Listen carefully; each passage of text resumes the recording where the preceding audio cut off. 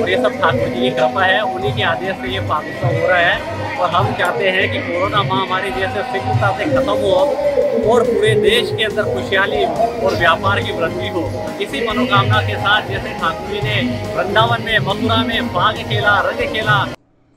तीर्थ नगरी पुष्कर में फागुन मास के दौरान हो रहे हैं फाग महोत्सव के आयोजन।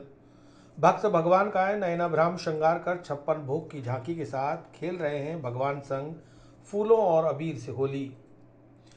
तीर्थ नगरी पुष्कर में प्रतिवर्ष की भांति इस वर्ष भी फाग उत्सव की धूम शुरू हो चुकी है। फाल्गुन मास कृष्ण पक्ष में जगह जगह प्रतिदिन फाग महोत्सव के आयोजन किए जा रहे हैं, जिसमें भक्त फागुन के भजनों पर भगवान के साथ, इत्र और फूलों के साथ होली खेल रहे हैं।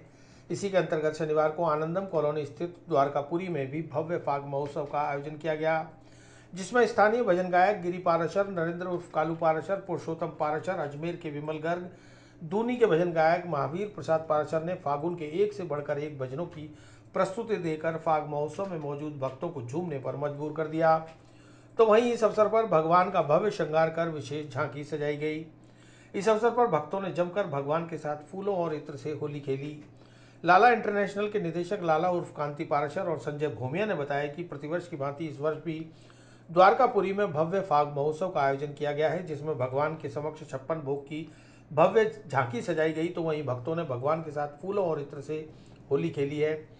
फाग महोत्सव में काफ़ी संख्या में भक्त उमड़े इस अवसर पर। गोपाल भूमिया रामावतार भूमिया, लाला भाई, संजय भूमिया, जिम्मी, निक्की, गोविंद पार्शर व अरविंद सरवाड़िया ने सभी का आभार प्रकट किया।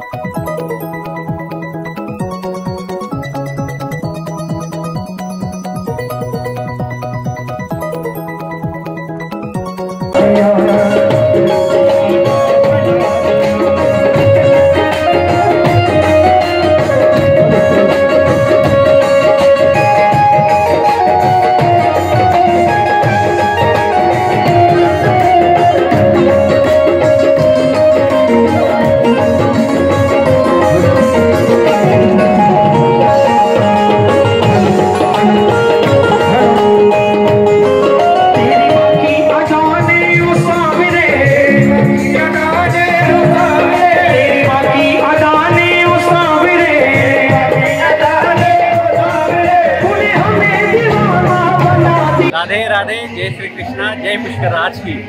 आज हमारे यहाँ फाग उत्सव का आयोजन किया जा रहा है और ये सब ठाकुर जी की कृपा है, उन्हीं के आदेश से ये फाग उत्सव हो रहा है और हम चाहते हैं कि कोरोना महामारी जैसे शीघ्रता से खत्म हो और पूरे देश के अंदर खुशहाली और व्यापार की वृद्धि हो।